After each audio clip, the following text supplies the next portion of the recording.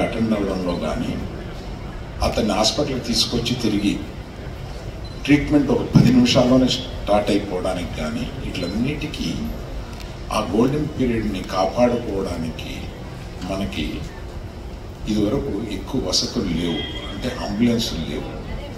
Paramedical లేదు.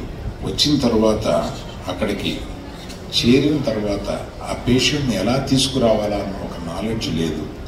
ఇటువంటి అనేకమైన వీటి వల్ల ఆ patient lot of the times బ్రతికి రావటం లేదు.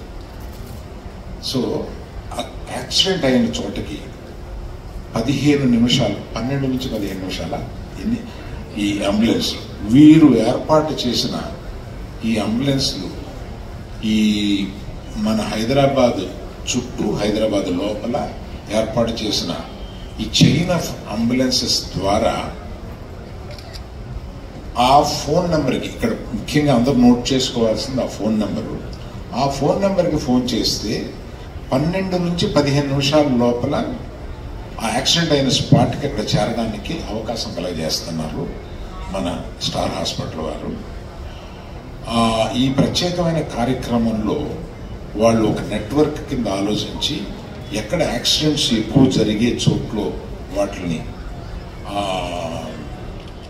స్టాటిస్టిక్స్ ప్రకారం వాటిని తీసుకుని ఆ చోటుకి ఎంత క్విక్గా చేరగలం అనేది సో పన్నెండు నుంచి పదిహేను నిమిషాల లోపల అక్కడికి చేరేటట్టుగా చూసుకుని ఆ చేరడమే కాకుండా ఇప్పుడు ఎక్స్ట్రాగా ఏంటంటే పారామెడికల్ వస్తారు తీసుకెళ్తమే కాకుండా ట్రీట్మెంట్ అక్కడ నుంచే ప్రారంభమవుద్ది. అంటే దర్ ఇస్ ఇవాళ టెక్నాలజీ ఇంత ఇంప్రూవ్ అయిన తర్వాత డాక్టర్ని అక్కడి నుంచి ఇన్స్టెంట్గా కాంటాక్ట్ చేస్తే ఇతను ఇలా ఉన్నాడు ఏం చేయాలి అంటే పలానా పలానా చేసి ఫలానాలాగా తీసుకురండి అని చెప్పడానికి అవకాశం ఉంది ఇవాళ. అందుకని ఇటువంటి చిన్న ఒక నాకు తెలిసిన ఒక అమ్మాయిని యాక్సిడెంట్ చోటు నుంచి సరిగ్గా తీసుకురాలేనందువల్ల మెడ వెనక్కి పడిపోయినందువల్ల ఆ అమ్మాయి ఊపిరి తీసుకోలేకపోయింది. మిగతా దెబ్బలన్నీ పెద్ద దెబ్బలు కాదు. అమ్మాయి బ్రతికుండేది. యాక్చువల్గా ఒక ప్లాస్టిక్ దగ్గర పెడతారు. What is the name of it I don't know yeah అది పెట్టి తీసుకొస్తే చాలు. అమ్మాయి బ్రతికుండేది. అలాగా చిన్న చిన్న జాగ్రత్తలు లేకపోవడం వల్ల చనిపోతూ ఉంటారు. అంటే star trauma and accident network అని చెప్పారు. నేను దానికి కొంచెం యాడ్ కూడా చేస్తాను. నేను హార్ట్ డాక్టర్. నాకు తెలుసు హార్ట్ అంటే ఎంత ఇంపార్టెంట్. ఇందాక అరవింద్ గారు గోల్డెన్ అవర్ గురించి చెప్పారు. షార్టెస్ట్ టైంలో అటాక్ వచ్చిన తర్వాత హాస్పిటల్కి రాగలిగితే నాట్ ఓన్లీ డెత్ ఒక ప్రాబ్లం అయితే సఫర్ అయ్యి డ్యామేజ్ అయిన హార్ట్తో బతకడం వాళ్ళకి వాళ్ళ స- కుటుంబానికి ఎంతో భారమైన విషయం. అదేవిధంగా బ్రెయిన్ స్ట్రోక్ వచ్చిన వాళ్ళకి వాళ్ళు కూడా విదిన్ వన్ అవర్లో వస్తే వాళ్ళకి క్లాట్ బస్టర్స్ అని ఇచ్చి మళ్ళా పెరాలసిస్ లేకుండా ఇవాళ ఒక లేడీని చూశాను. నాలుగేళ్ళ క్రితం పెరాలసిస్ వచ్చి హార్ట్ ప్రాబ్లం తోటి ఇప్పుడు డిఫ్ ఈ చెయ్యి అసలు లేదు కాలు కుంటుకుంటా వచ్చింది. సో ఆవిడ కనుక అటువంటి వాళ్ళు తొందరగా హాస్పిటల్కి రాగలిగితే వాళ్ళకి నార్మల్ లైఫ్ ఇవ్వడానికి అవకాశం ఉంటుంది. ఈ ఎమర్జెన్సీ నెట్వర్క్ అనేది ఓన్లీ యాక్సిడెంట్కి ట్రామాకి కాకుండా అదైతే ఇమీడియట్గా చేయాలి. అది కాకుండా ఇటువంటి ఎమర్జెన్సీ ముఖ్యమైన అవయవాలు బ్రెయిన్ ఒకటి హార్ట్ ఒకటి ఇమీడియట్గా కనుక రాగలిగితే వాళ్ళకి సత్వరం ట్రీట్మెంట్ ఇచ్చి వాళ్ళని బాగు చేసే అవకాశం అనేది ఉంటుంది A friend of mine met with an accident. I was on shift that day. She went to the closest hospital and it turns out her own cousin brother was working in that hospital as an orthopedician. He wasn't aware that she was there. They unfortunately were fairly full. All their ventilated beds were occupied. So this ambulance that had her was turned away and they said, we don't have any beds, go to the next hospital. And that's when she came to the hospital I was working in. By the time she reached us, she had already died. And this was 15 minutes after the incident occurred. Initially, we thought, okay, this was someone who had a very complex accident. That's the reason why she died. She had multiple injuries, possibly.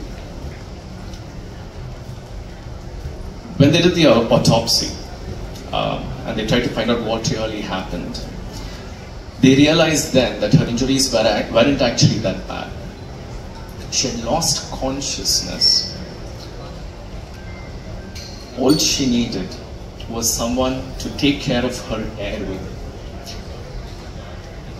All they had to do is move her neck to open her airway up so that she can breathe because she had lost consciousness. ముఖ్యమైన అంశం ఏంటంటే మనకి సిటీలో వీరు పది అంబులెన్స్లను arrange చేశారు ఆ అంబులెన్స్లు వేరే వేరే ప్లేసుల్లో అంటే ఎక్కడ యాక్సిడెంట్స్ ఎక్కువ జరుగుతాయో ఆ ప్లేస్లో ఏర్పాటు చేయబడినాయి. అంటే ఇక్కడ ముఖ్యంగా చెప్పాల్సింది గోల్డెన్ అవర్ ఒక యాక్సిడెంట్ అయిన తర్వాత ఒక మనిషిని హాస్పిటల్లో కానీ లేకపోతే మెడికల్ ఎమర్జెన్సీలో ట్రీట్ చేయడం కానీ అదే స్పాట్లో ట్రీట్ ఈ మధ్య కాలంలో దాన్ని గోల్డెన్ అవర్ అంటారు మెడికల్ టర్మ్స్లో. ఆ గోల్డెన్ అవర్ని ఎంత తగ్గించగలిగితే మనిషి అంత బతకడానికి అవకాశం ఉంది.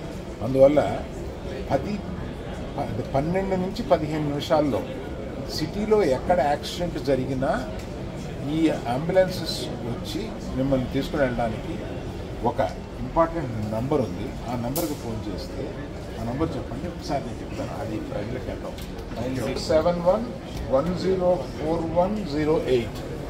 ఈ నెంబరు మీరందరూ నోట్ చేసుకుంటే ఫోన్ చేస్తే ఎక్కడైనా యాక్సిడెంట్ కానీ లేకపోతే హార్ట్ ప్రాబ్లం వచ్చి ఇంట్లో హార్ట్ అటాక్ వస్తుందేమో అనే డౌట్ వచ్చినప్పుడు కానీ ఈ నెంబర్కి ఫోన్ చేస్తే ఇమ్మీడియట్గా పన్నెండు నుంచి పదిహేను నిమిషాల్లో వచ్చి మీకు అటెండ్ అయ్యి తీసుకుని వెళ్తారు.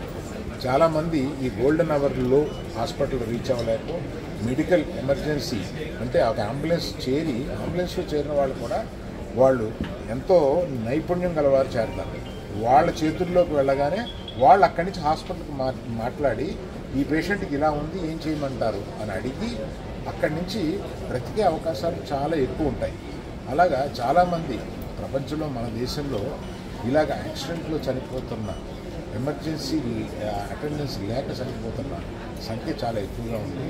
అందువల్ల ఇది అందరూ నోట్ చేసుకుని మన హైదరాబాద్ నగరంలో అది జరగకుండా తక్కువ సమయంలో హాస్పిటల్ చేరేలాగా ఈ ఫెసిలిటీ పెట్టారు కనుక ఈ నెంబర్ ఉపయోగించుకుని ఈ ఫెసిలిటీ ఉపయోగించుకోవాలి